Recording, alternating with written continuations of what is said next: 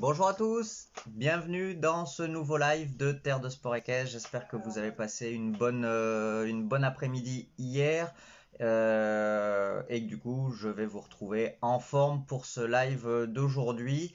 Live assez euh, serré dans le timing puisque j'ai deux rendez-vous euh, derrière, j'ai deux, euh, deux coachings euh, par téléphone derrière. Donc du coup, je vais être un petit peu charrette sur le, sur le temps, mais on aura quand même l'occasion de se faire un petit coucou et de parler du sujet d'aujourd'hui. Donc on avait programmé de parler un petit peu de, saut d'obstacle aujourd'hui et en particulier des cavaletti.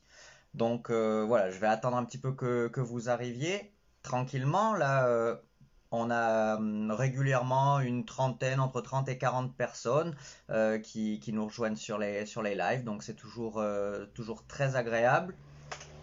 On avait dépassé euh, la semaine dernière les, 60-70 participants. c'est super qu'on se retrouve bah, tous les jours à 13h30 pour ce, pour ce moment euh, d'échange autour de notre passion. Salut Camille, je t'ai absolument pas oublié. Euh, je voulais faire hier la, petite vidéo dont je t'ai parlé pour te montrer pour... Euh, quand je m'y suis mis, il commençait à, faire un, poil trop sombre, donc ça rendait pas bien. Mais euh, t'inquiète pas, euh, je fais mes hum, je fais mes coachings et euh, ensuite j'ai ma petite promenade avec mes loulous. Mais je t'oublie pas, je te fais la vidéo, promis, promis, et je te mettrai ça sur YouTube, comme ça au moins ça pourra profiter au plus grand nombre. Salut Alexia, salut Stéphanie, j'espère que tu vas bien. Est-ce que tu as réussi à me faire la petite vidéo dont tu m'as, enfin dont je t'ai parlé pour qu'on puisse euh, en, échanger pour euh, bah, demain comme, euh, comme prévu? J'espère que, tu as pu faire ça. Donc, sans trop perdre de temps, bonjour Muriel, sans trop perdre de temps, je vous propose qu'on attaque, qu'on attaque aujourd'hui le sujet. Comme je vous disais, je suis un poil pris par le temps. Donc du coup, salut Luan. aujourd'hui, on va parler des cavaletti. Alors je vais vous, euh, vous réexpliquer, enfin vous redire un peu vite fait ce que c'est qu'un cavaletti, euh, pourquoi est-ce que moi j'adore les séances de cavaletti, et ensuite euh, bah, je vous donnerai deux trois petits exercices, deux trois exemples de petits exercices, parce que concrètement il y en a des milliards possibles avec les cavaletti, en tout cas ceux que moi je préfère et ce que moi je fais le plus souvent. donc, les cavaletti, c'est tout simplement euh, des obstacles de toute petite taille. Salut Steph.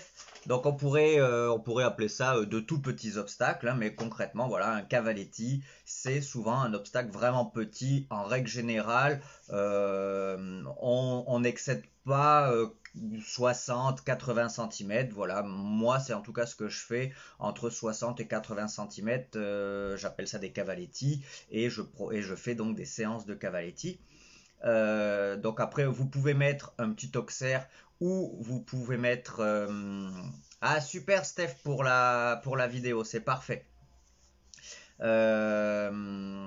comment dire, vous pouvez, vous pouvez mettre. bonjour Cédric vous pouvez mettre un petit auxerre ou un petit vertical, mais euh, globalement, ce sont des petits, euh, de petits obstacles que vous allez pouvoir utiliser en isolé ou que vous allez pouvoir utiliser euh, comme une ligne de, gymnastique par exemple. L'énorme intérêt des cavaletti et des séances de cavaletti, c'est que si vous voulez, vous allez pouvoir multiplier les séances dans la semaine déjà, multiplier les passages dans la même séance, parce que l'effort qui va être demandé à votre cheval pour franchir, pour sauter un obstacle de si petite taille, euh, on va dire entre 50 et 80 euh, cm, va être tellement minime que concrètement, euh, il va, va pas forcer votre cheval. Globalement, il vaut mieux programmer dans sa séance, dans sa, dans sa semaine, pardon, deux séances de cavaletti euh, plutôt qu'une énorme séance d'obstacles.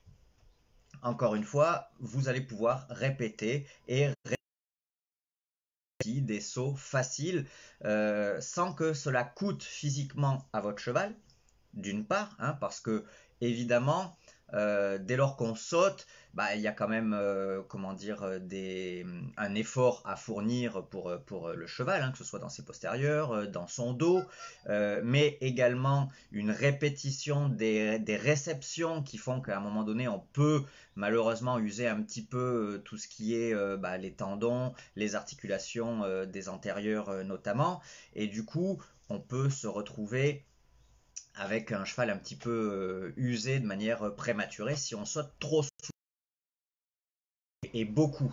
Mais par contre, si on saute très souvent de tout petits obstacles, comme, euh, comme je vous le disais, voilà, 50, 60, 80 cm, là, il y, a, euh, y a vraiment très peu d'impact sur, euh, sur le physique d'un cheval. Et donc, vous pouvez multiplier les passages, notamment ce qui vous permet à vous bah, d'améliorer votre coup d'œil, d'améliorer votre, euh, euh, votre manière d'appréhender les, abords, euh, votre manière de travailler votre gestuelle. Mais pour votre cheval, vous allez aussi apprendre ou euh, perfectionner votre contrôle de votre cheval parce que répéter des petits sauts va faire que euh, peu à peu il va être de plus en plus à l'écoute, il va être de plus en plus avec vous déjà parce qu'il n'y a pas cette hauteur qui fait que le cheval se crispe parce que c'est plus haut et du coup on le perd un petit peu au contrôle. Et nous-mêmes on se crispe, on sait pas trop, un coup je te laisse faire, un coup je te retiens trop, un coup voilà, là c'est tellement bas que du coup on va pouvoir monter beaucoup plus relax.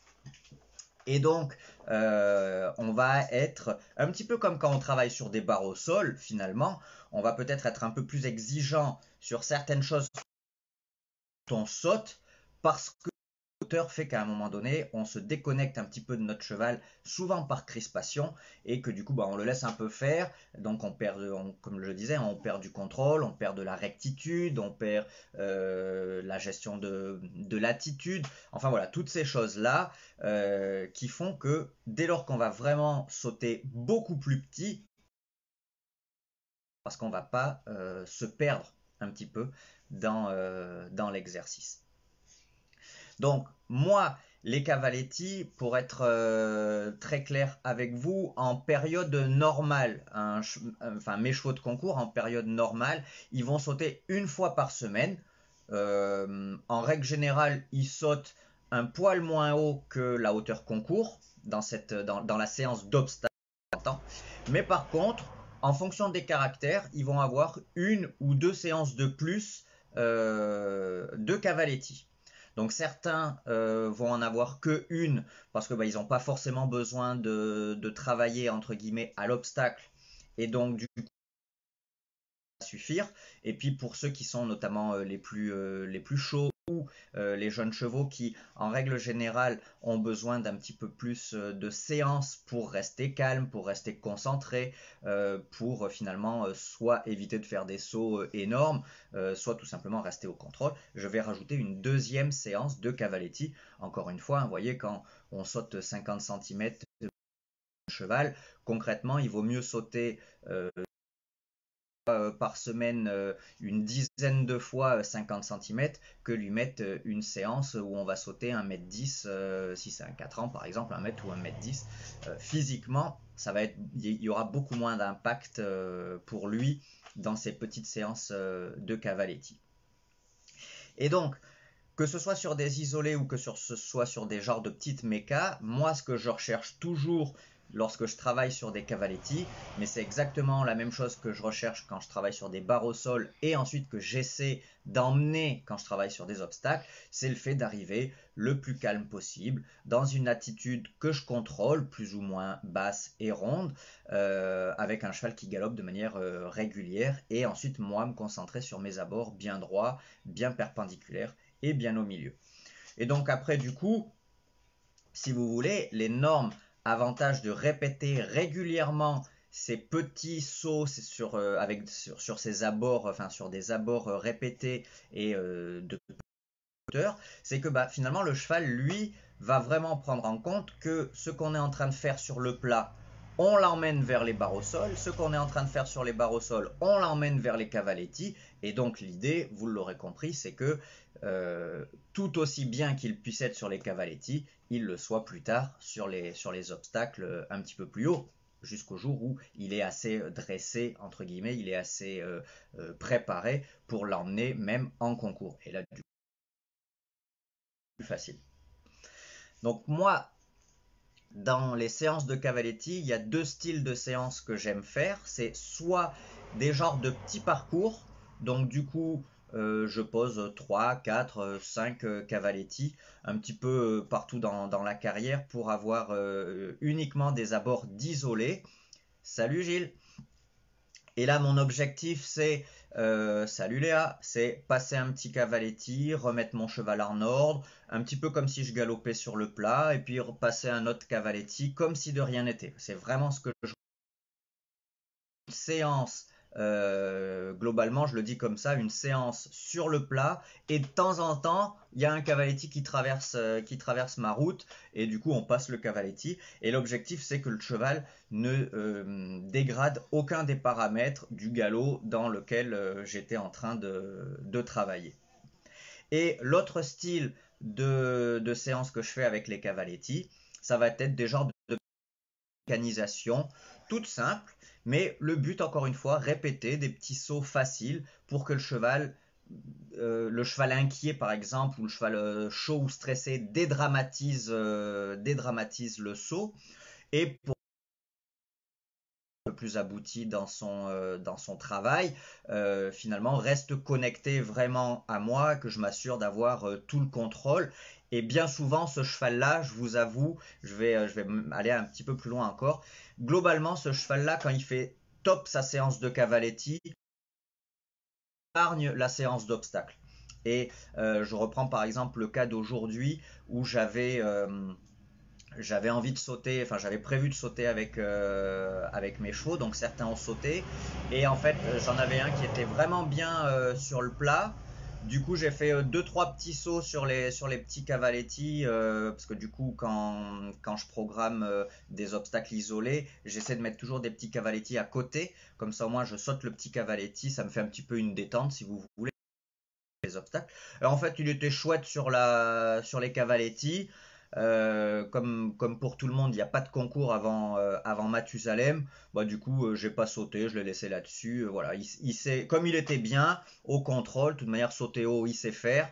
le plus compliqué, c'est pas de les faire sauter haut, c'est de les faire sauter bien, c'est-à-dire en restant avec nous, en restant en ligne, et finalement d'avoir cette sensation que entre le moment où on aborde et le moment où on réceptionne, il y a très peu de choses qui ont changé. Le cheval a juste, voilà, il a juste fait une foulée de galop un petit peu plus haute.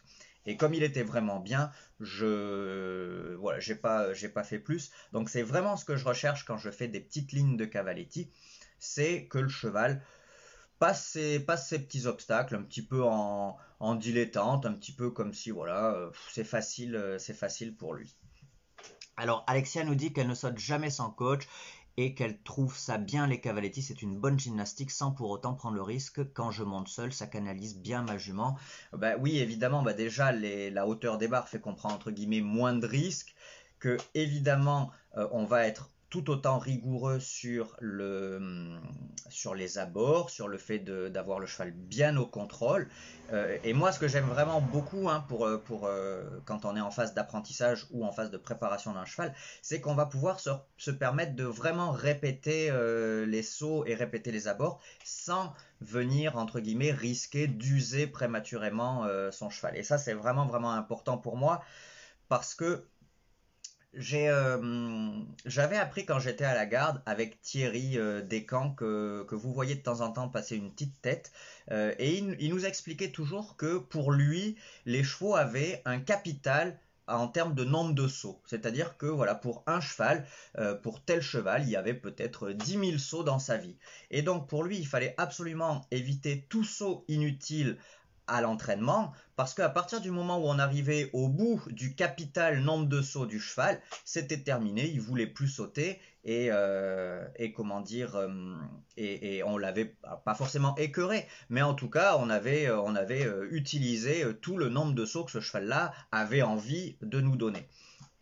Et je partage un petit peu cette, cette, cette vision des choses, dans le sens où pour un cheval d'obstacle, pour qu'on euh, qu'on garde un cheval d'obstacle qui ait envie d'aller sauter, il faut lui éviter le maximum des efforts euh, inutiles. Mais finalement, le problème, c'est qu'il faut aussi réussir à jauger entre euh, sauter trop qui userait notre cheval physiquement et mentalement, mais de l'autre côté sauter pas assez et qui fait qu'on se retrouve avec beaucoup de problèmes de fraîcheur notamment ou de manque de contrôle que peuvent avoir certains cavaliers amateurs euh, parce que justement malheureusement ils sautent trop peu souvent. Alors le pire, c'est qu'ils sautent trop peu souvent, mais quand ils sautent, ils sautent trop haut. Et donc, ils n'ont jamais ces séances un peu tranquilles d'obstacles très modérés en termes de hauteur, sur lesquels, par contre, ils vont être extrêmement rigoureux sur le contrôle, euh, du cheval.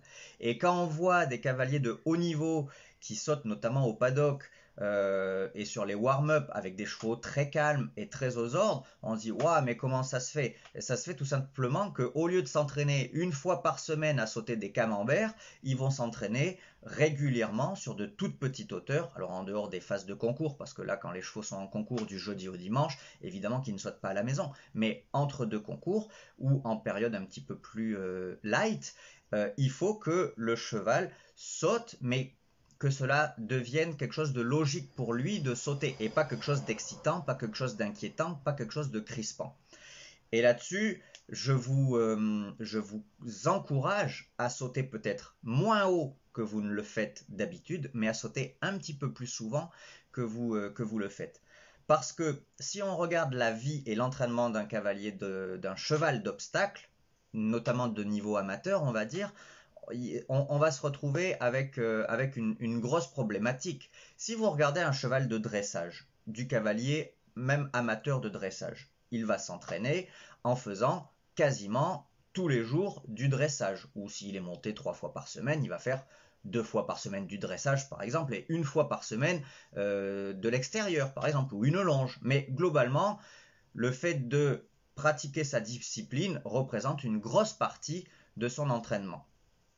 Le cavalier d'obstacle, qu'est-ce qu'il va faire? S'il peut monter trois fois par semaine, admettons qu'il fasse une séance de plat, admettons qu'il fasse un extérieur et une séance d'obstacle. Ça veut dire que l'entraînement dans la discipline spécifique du cheval correspond au bas mot à un tiers de la globalité de son entraînement. Alors pour un peu que le cavalier monte que deux fois par semaine, euh, ça veut dire qu'en gros il fait une séance de plat et une séance, euh, séance d'obstacle. Donc c'est déjà trop peu pour qu'il soit entre guillemets aux ordres sur le plat et trop peu pour qu'il euh, soit aux ordres à l'obstacle. D'autant plus que malheureusement une fois par semaine, qu'est-ce qu'il a envie de faire? Il a envie de sauter haut pour se faire plaisir. Donc, bah voilà, on fait que des séances où on saute, euh, on, enchaîne par exemple des grosses barres, euh, où on fait une ligne de méca avec encore une fois euh, des grosses barres, et, et ainsi de suite.